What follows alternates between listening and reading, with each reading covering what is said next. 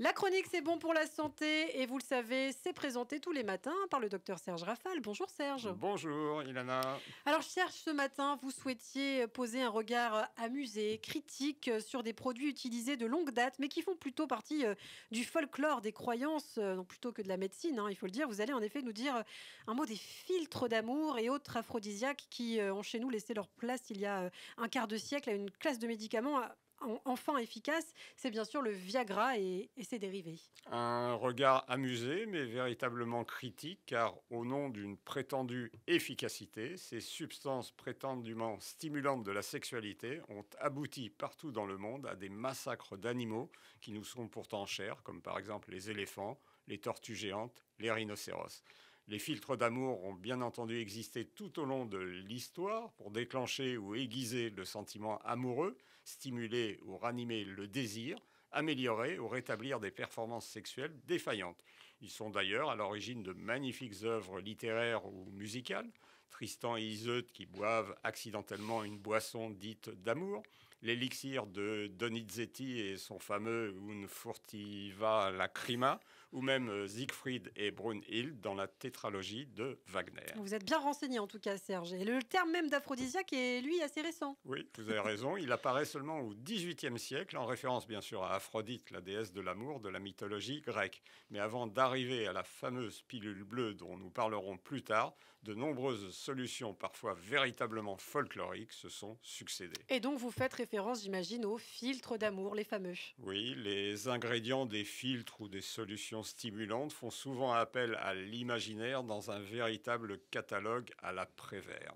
Organes ou poudres d'animaux, symboles de virilité, les défenses d'éléphants, les bois de rennes pilés, les cornes de rhinocéros, les ailerons de requins, les testicules de gorille ou de taureau.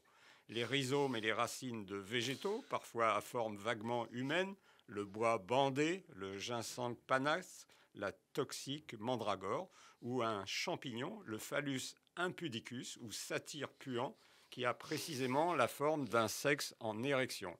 Des aliments qui vont de l'ail du très chaud Henri IV au gingembre de la comtesse du Barry, en passant par le céleri de Madame de Pompadour, la maîtresse de Louis XV, qui écrit Si la femme savait ce que le céleri fait à l'homme, elle irait en chercher de Paris à Rome les épices et les piments, bien sûr, pour épicer la relation et pimenter le désir.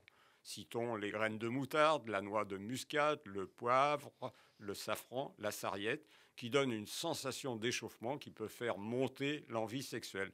Et je ne parle même pas de la cantharide, extraite d'un papillon, dont l'ingestion entraîne surtout une grosse chaleur, mais une inflammation des voies urinaires. Ah ouais, le piment, euh, quand même, euh, faut pas avoir envie d'aller aux toilettes après, quand même. C'est pas très aphrodisiaque. Hein. Alors, euh, Serge, vous souhaitiez dire un mot de la, de la mandragore et du bois bandé, justement, qui explique parfaitement les mauvaises raisons pour lesquelles ces produits ont connu ou connaissent encore un, un certain succès. Oui, la mandragore est toxique et hallucinogène. Son ingestion, autrefois, déclenchait une grande excitation ou des accès apparentés à de la folie. Ah ouais. Elle pousse parfois sous des arbres où des malheureux étaient pendus. Il lui arrivait ainsi d'être ensemencé par le sperme que ceux-ci lâchent avant de mourir.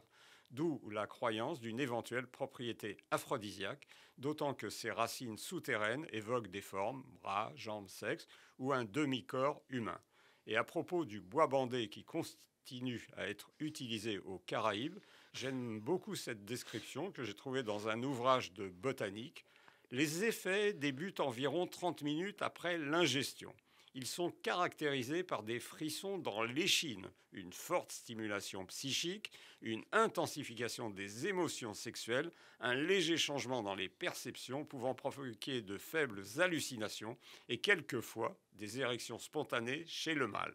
C'est vrai que la sexualité obéit à une triple commande hormonale, circulatoire et psychologique, et beaucoup des produits dont j'ai parlé jouent sur cette dernière et donc au pouvoir qu'on leur attribue ou Alors Serge, il nous reste très peu de, temps. Qu'est-ce qu'on peut dire en conclusion? Vous souhaitiez nous parler du Viagra brièvement? Oui, ce produit, découvert en 1998 par le laboratoire Pfizer, celui du vaccin, a révolutionné euh, la sexualité euh, masculine. Il a été découvert par hasard par des chercheurs qui travaillaient sur l'angine de poitrine et qui se rendirent compte que les cobayes avaient de belles érections.